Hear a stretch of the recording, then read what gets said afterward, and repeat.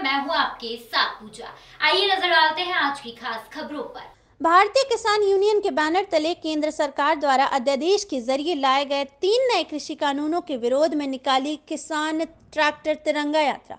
दिल्ली में प्रदर्शन कर रहे किसानों के समर्थन करते हुए 26 जनवरी गणतंत्र दिवस के मौके पर किसान यूनियन के द्वारा किसान ट्रैक्टर तिरंगा यात्रा निकालकर केंद्र सरकार के कृषि कानून बिल का विरोध कर तीनों कृषि कानून वापस लेने की मांग की गई।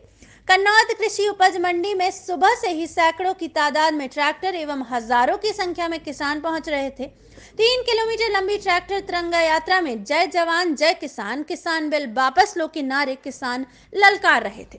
भारतीय किसान यूनियन कन्नौद ब्लॉक अध्यक्ष राम भोरास पटेल ने प्रेस वार्ता कर बताया कि केंद्र सरकार को अपनी जिद छोड़कर तीनों का सिविल को वापस लेना चाहिए। किसान तिरंगा यात्रा को लेकर अतिरिक्त पुलिस अधीक्षक सूर्यकांत शर्मा ने बताया कि यातायात व्यवस्था को बनाए रखने के लिए बाहरी वाहन को नगर सीमा से बाहर रोक दिया गया था। यात्री बसों के यात्रियों को कोई परेशानी ना हो, इसके लिए बसों का संचालन सुचारू रूप से किया गया।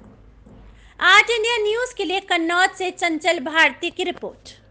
आज जो रैली निकाली है, ट्रैक्टर तिरंगा यात्रा आपने, किन मुद्दों को लेकर यात्रा निकाली गई है आपके द्वारा। तीन कृषि कानून बने हैं उसके लिए पूरे प्रदेश में दिल्ली तक हमारे दो महीने से किसान भाई बैठे हैं उनके समर्थन में हम ये पूरे प्रदेश में एक साथ तिरंगा यात्रा ट्रैक्टर यात्रा निकाले देश की सरकार से आप क्या मांग रखते हैं किसानों के हित में? हम यही मांग रख रहे हैं कि हमारे एमएसपी कर दे फिक्स और ये तीन जो काले कानून बनाए इनको वापस ले ले सरकार।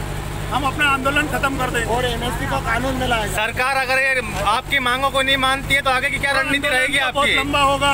अब किसान अब किसान बाहर निकल चुका है। अब किसी का डर की कोई की औकात नहीं है जो किसान को रोक दे। अब किसान बाहर निकल चुका है। डाक चुका है किसान। पूरे प्रदेश में लगा